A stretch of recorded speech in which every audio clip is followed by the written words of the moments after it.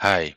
In certain cases, when you want to preview uh, the document that you have generated with PDF Butler, like so, you will get a white screen in the previewer. This is because of ClickJack security settings from Salesforce.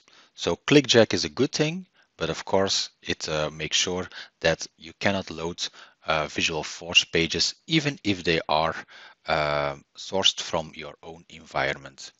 So how to fix that and still stay safe?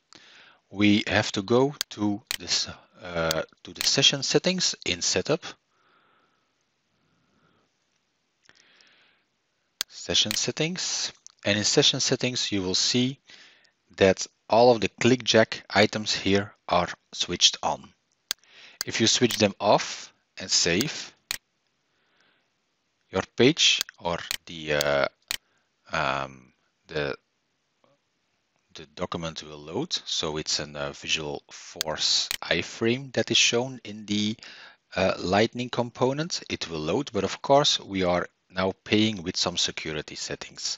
We want security and load the iframe. So how to do that? Let's go back to session settings.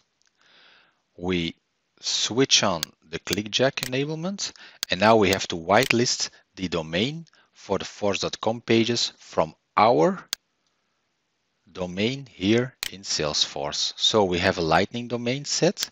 That's the my domain that's set over here. And we need some uh, URL to indicate which domains are safe for, uh, for this ClickJack. So these are the two domains that you should use. Uh, for Visualforce pages are uh, served from the force.com domain in Salesforce, so we have to go from there and you just have to replace the domain setting here with the domain in your main domain of, uh, of Salesforce. So I copy this, I replace it, and let's make sure there is no extra space here. I copy this one, and now I'm gonna add it into the domains that are safe. Just adding the domain, saving it. Now let's double check. I have to check my ClickJack settings, save this. Okay, the save is done. Now if I refresh the page, the pop-up and the iframe showing the, uh, the document should perfectly work.